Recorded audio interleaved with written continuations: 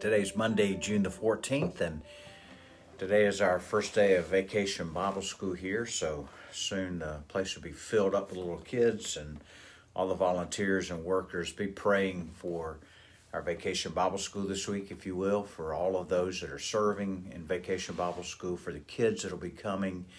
Um, so they'll hear a clear presentation of the gospel and pray for the moms and dads that'll be bringing their kids, grandmas, granddads, and especially Thursday night. We have a closing night on Thursday of Vacation Bible School. Be an opportunity that those parents that are here with unchurched kids uh, uh, and they themselves are unchurched that they would hear the gospel and be willing to respond to it. So pray, pray, pray this week, if you will.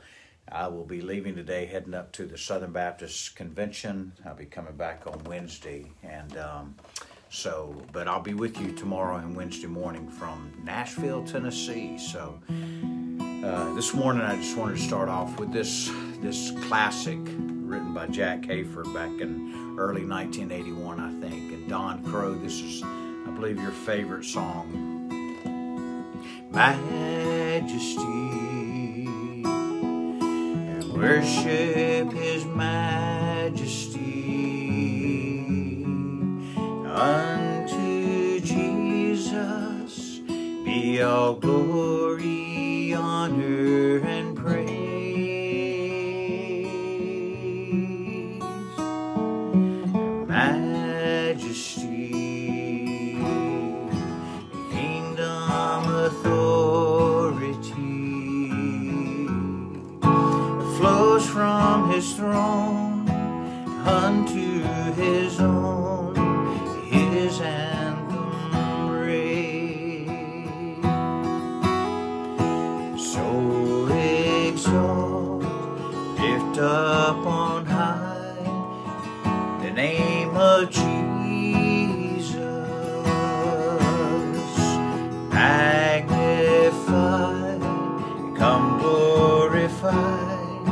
Christ Jesus the King. Majesty, worship His Majesty. Jesus who died, now glorified, King of all kings. Let's sing that to Him again, Majesty. And let's just worship Him. Majesty,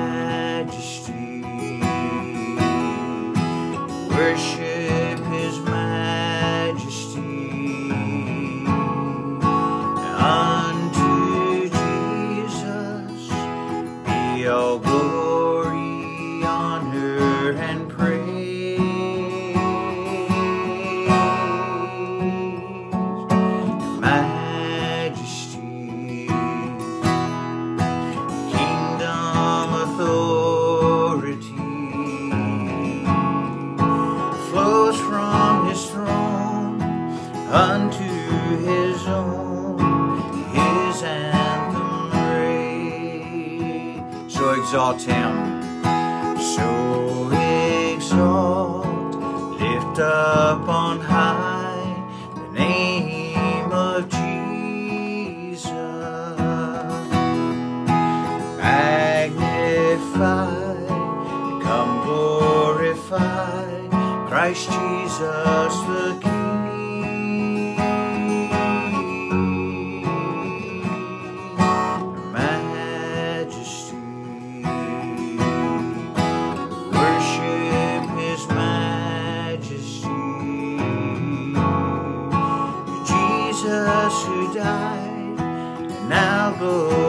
glorified, the King of all kings. Jesus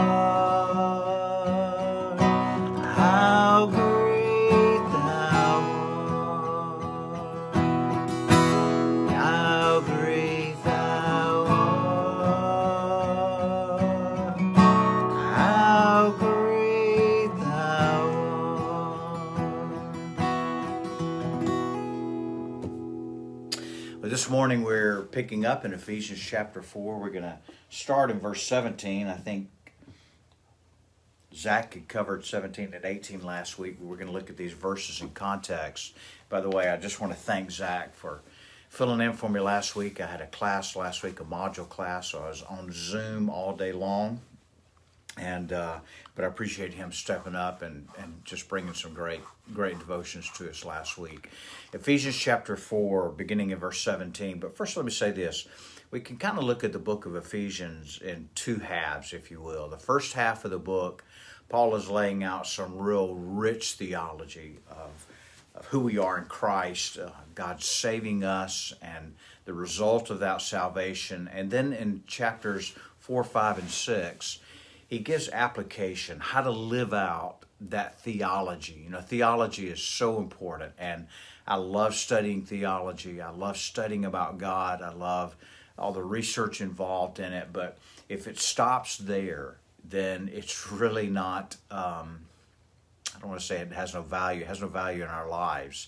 Uh, James said not not to be just a hearer of the word, but a doer of the word. So we always look to Scripture once we have the interpretation. God, how do I apply this in my life? Because Scripture is intended to be applied, it's to be uh, intended to be obeyed, it's intended to be followed by and, and implemented in our lives. And so we pick up at verse 17. Paul says, Now I say this and testify in the Lord, that you must no longer walk as the Gentiles do in the futility of their minds. You might put it this way Paul says, Hey, man, you've been saved you have been born again and sealed with the Holy Spirit, given the Holy Spirit. Don't continue to live the way that you did because now you have the ability, you have the power not to live that way.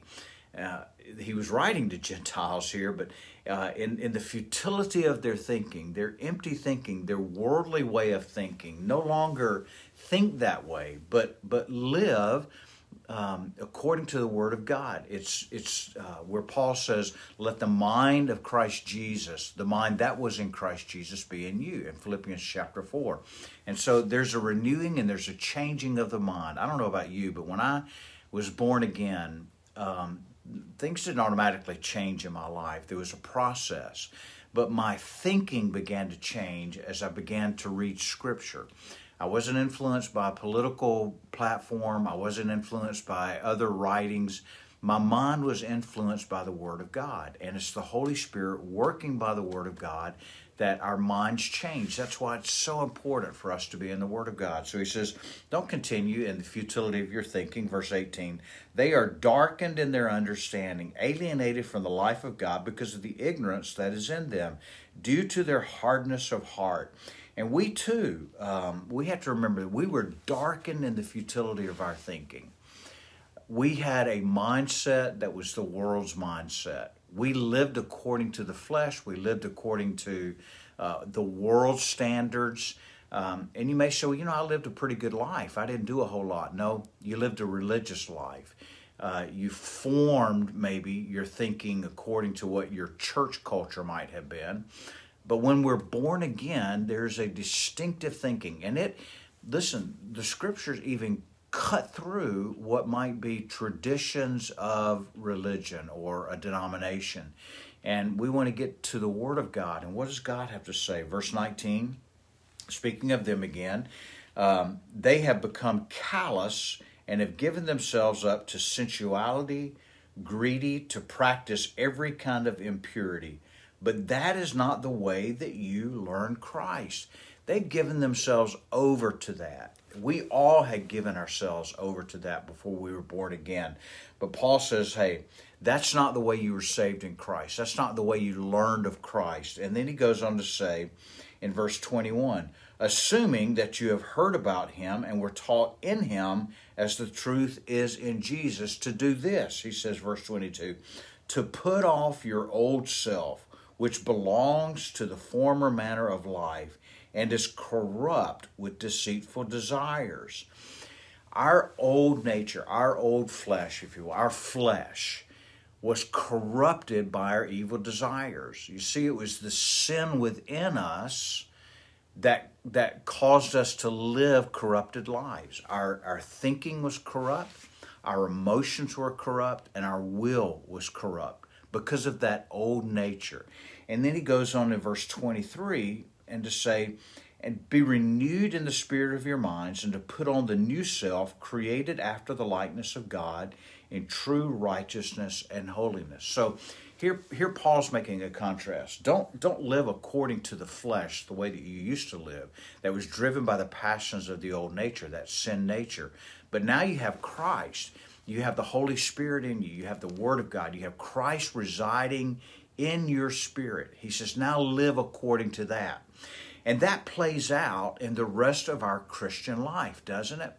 It's true that when we're born again, uh, that we are given life, but we still contend that old nature is dead, Paul says. It's been crucified with Christ. But we still contend with our flesh, which was patterned by the old nature. Man is typically is, is essentially made up of three parts. Um, we have our we have our body. That's that's just that this tent that we live in, and we have our soul, which is our mind, our emotions, and our will, and we have our spirit. That spirit that was once dead to God has been now born again, with the Spirit of God resides in us, and Christ is seated in our heart.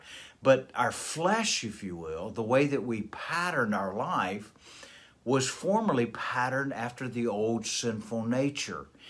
And we still have those patterns that we lived by before we became believers. They're ingrained in our flesh. But, but Paul explains now that we're to put that off and walk according to the ways of Christ. The best way I can illustrate it is this way that, that my flesh was conditioned by my old nature, my sin nature. I grew up on a dirt road uh, out in Newton County, rural Newton County, and every it was it was not a gravel road; it was a dirt road. It was red Georgia clay, and every time that it rained, the water would would hit that Georgia clay, and the water would make ruts in the road. And so, as it would dry out, as we were going up the road, you felt every one of those ruts. You you drive up and the, the vehicle across those ruts that have been formed in the road by the water running through that. And once the water had cut a path, the water continued to flow in that path.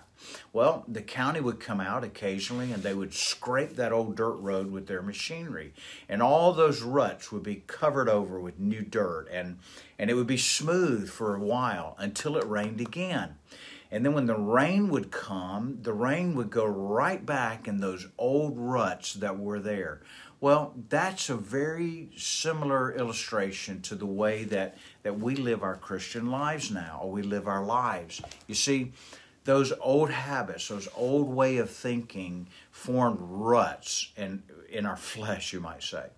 And so, given the opportunity, every time that we're faced with the temptation to either walk according to the flesh or to walk according to the spirit, the natural tendency is to walk according to the flesh in the same way those ruts have been formed in the road. But now, Paul says we have a new mind. We've been transformed and we have the Spirit of God. And so we have a choice. We have choices, multiple choices every day.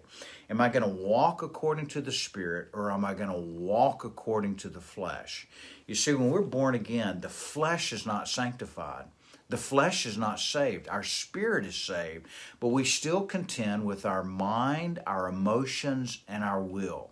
Here's the way it works one of you says something ugly or mean to me. My old pattern in my flesh was to respond in the same way. If you said to me, um, Steve, if you said to me, JMO, you sure are ugly, my old flesh would have said, well, you're so ugly too. And by the way, your mama is ugly as well. You see, that was my fleshly pattern. I would strike back. But now I have an opportunity to walk according to the Spirit. And the Spirit would say, to turn the other cheek when that offense is given. And so rather than responding in the flesh, I may just say nothing and say, you know what, Steve, I may be ugly, but I still love you, right? And so that's the working of the Spirit of God in our hearts. So we can play that out in every instance in life. Are we going to walk according to the flesh or are we going to walk according to the Spirit?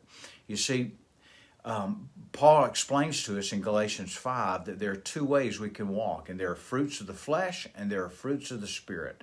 I would encourage you to go and read that today in, in Galatians chapter 5. Also in chapter 8, Paul tells us of Romans, Paul tells us that, that we've been given a new mind, that the old man has been crucified with Christ, but we have to reckon that old nature, that old flesh to be dead. You see, the truth is, all of us can live by the Spirit and not according to the flesh. Now, on this side of heaven, we will never do that to 100%. So if you're trying to, to live out in sinless perfection, you won't. But the good news is is that those old patterns of our flesh, the more we grow in Christ, the more we reflect on his word and we examine our hearts and we rely on the Holy Spirit to change those things in us, the more we grow, we are sanctified, we are being sanctified, and we grow more in the nature and character of Christ and reflect his heart and his character. Uh, two things are critically important to that in your life and in my life. It, and that is the Word of God, and not just to read the Word of God, but to reflect as a mirror, to examine ourselves as we read the Word of God and rely on the Holy Spirit of God to bring about those changes that He would desire to bring about in our lives so that we walk according to the Spirit and not according to the flesh. That we no longer are driven by, by our futile thoughts as the Gentiles were, as Paul is speaking of here. So, the takeaway today is the Word of God and the Holy Spirit of God. I cannot bring change about in my life. Only the Holy Spirit can by the Word of God. So pray today. God, I want to know you more. God, I, I want I want this old patterns of my flesh. Listen, some of those old patterns in our flesh are what are, are wrecking our relationships or have wrecked relationships in the past. Those things God wants to change and renew in us in our lives. We'll pray and ask the Lord for an opportunity today that you'd be able to plant a seed of the gospel in somebody's heart, or if a seed has already been planted there, that God would use you to cultivate that seed. And if God, by His grace, would allow us to see somebody, to witness somebody be born again. Oh man, wouldn't that be good? Pray and ask the Lord to do that. I love you. I pray the Lord's blessings on you, that He keep you. Pray for all of us involved in Vacation Bible School today. I love you. See you tomorrow morning. Have a great day.